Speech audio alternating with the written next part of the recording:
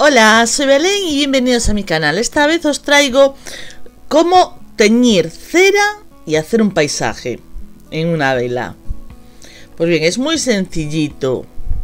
Simplemente necesitamos esto, que es cera en polvo. También os valdría la estearina, que viene así, de esta, de esta manera. Eh, necesitamos mecha encerada, correspondiente al tamaño del recipiente en el que vamos a hacer la vela. Anilinas para cera, importante que sean para cera. También valdría pigmentos de, mica. La mica va en polvo, valdría perfectamente. Bien, vamos a repartir, eh, porque voy a hacer en este recipiente la vela. Repartimos entre los diferentes moldes que tengo la cera para teñirla. Así no teñimos cera de más. Y, ya está. Ahí repartimos.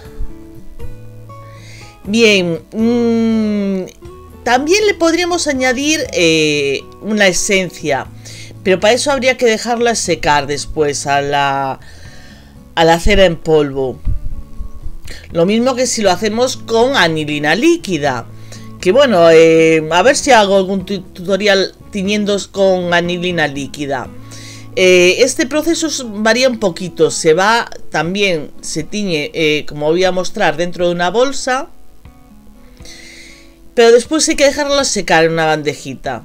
Estamos limpiando ahora el recipiente para que esté perfecto a la hora de montar el paisaje. Y bien, una vez listo, vamos a empezar a teñir. Necesitamos única y exclusivamente una bolsa de plástico. O podéis hacer en, una lámina de film de, cocina. Intentar teñir ahí, pero bueno, una bolsita de estas de la, de la fruta os viene bien. Echamos primero eh, la, la cera en polvo o la estearina si no tenéis cera en polvo. Lo que pasa es que la, estearina lo que va a hacer es que va a ser una combustión más lenta. Y ahora le voy a ir añadiendo eh, la anilina. Vamos a ver. Es que cuesta un poquito abrir este recipiente con, con los guantes puestos. Cogemos una, así una cucharada, una cucharadita medidora y echamos un poquito. Vamos a ver cómo nos, tiñe esta poquita cantidad. Vamos a ver cómo... Si fuera eh, anilina líquida, sí, ya es un color mucho más potente. Ya veis, vamos mezclando dentro de la bolsita la anilina. Simplemente eso, mezclarla con, con la mano. Ahí. Creo que voy a necesitar más anilina, me parece a mí. Vamos a ver que... Sí, muy, muy clarito, muy clarito. Es un, un violeta bastante clarito. Vamos a otro poquito más.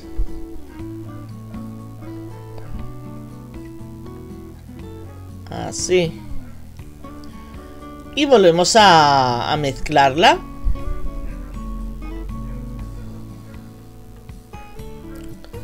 ¿Veis cómo se va mezclando por dentro?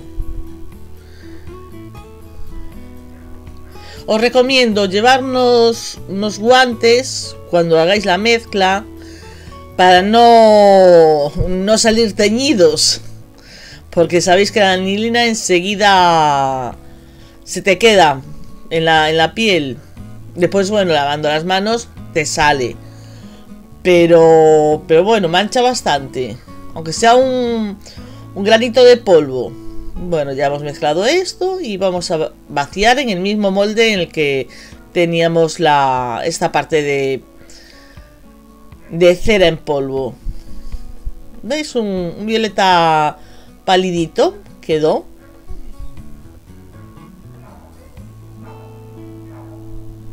Ver, yo prefiero eh, realmente que sean colores así tipo pastel. Pero hay gente que le gustan colores más intensos. Eso ya es a gusto de cada uno. Lo mismo que si le echáis esencia, la, a gusto de cada uno. La esencia también se echaría aquí en cada, cada vez que mezclamos la cera con la anilina. Lo que pasa es que después hay que extenderla en una bandejita para que seque. Y deshacer bien esa... porque quedaría pegadita. Lo deshacemos bien y ya eh, podríamos utilizarla así en polvo. Bueno, ahí vamos a salir un, un rosita. Vamos a echar un poquito más.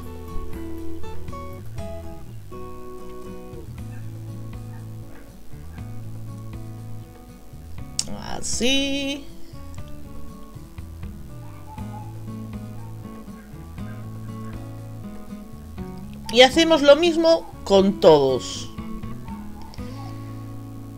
Ahí tenemos el rosa listo.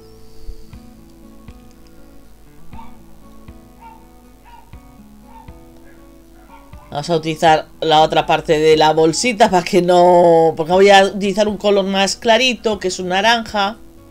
No, quiero, no quiero que se me mezcle mucho con la anilina, los restos de anilina rosa.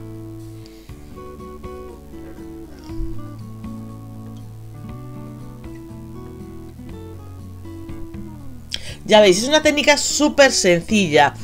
Lo único por lo que no recomiendo hacerlo con niños es porque se podrían manchar con la anilina. Si no fuera por eso, eh, si por ejemplo utilizáis polvos de mica, pues, pues genial, mejor, porque no, no manchan tanto. Y aquí tenemos el azul un poquito más intenso.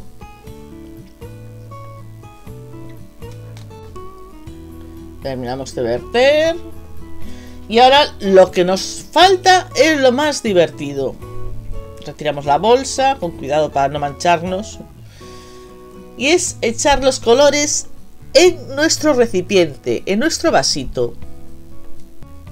Vamos a empezar con el azul. A ver. Y me ayudo con una pequeña cucharilla.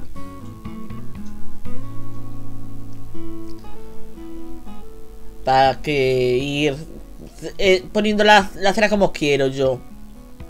Que no les queden grumitos. Y se amontone un poquito más hacia un lado que hacia el otro. Así. No, no importa si queda irregular por el centro.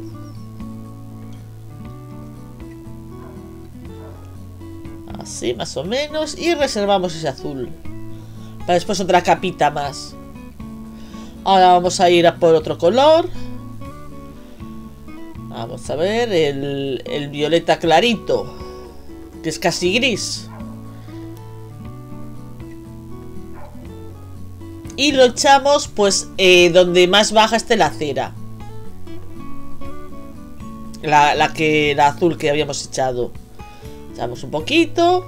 Y bueno, esto es a gusto de cada uno. Vais echando, en vez de hacer eh, capas por líneas, por rayas, pues vais echamos un poquito más en un lado, echamos otro poquito más en otro, menos aquí, más allí, lo que queráis, lo que os dé la gana.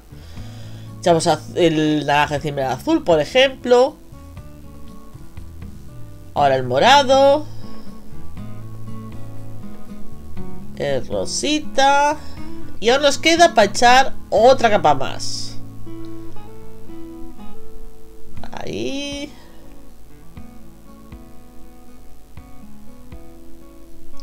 Y ahora al final veréis el resultado final. El cómo, cómo queda a través del cristal del recipiente.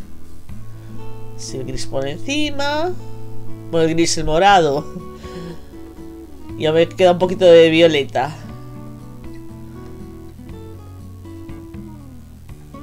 Así. Y, y ahí.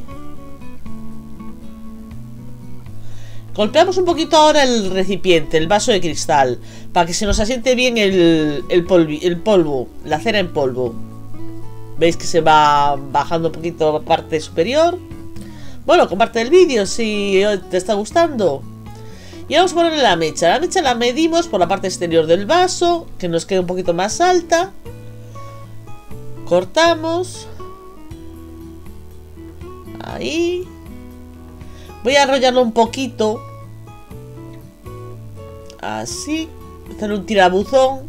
Porque me parece más simpática. Después, a la hora de quemarlo, pues le cortáis el tirabuzón. Le dejáis eh, como unos centímetros para que pueda coger la llama. Y ya está. Introducimos por la parte central de nuestro recipiente. Ahí en el medio. Y empujamos poquito a poco. Asentamos la arena. Y ya está. Ya está lista. Aquí tenéis el paisaje.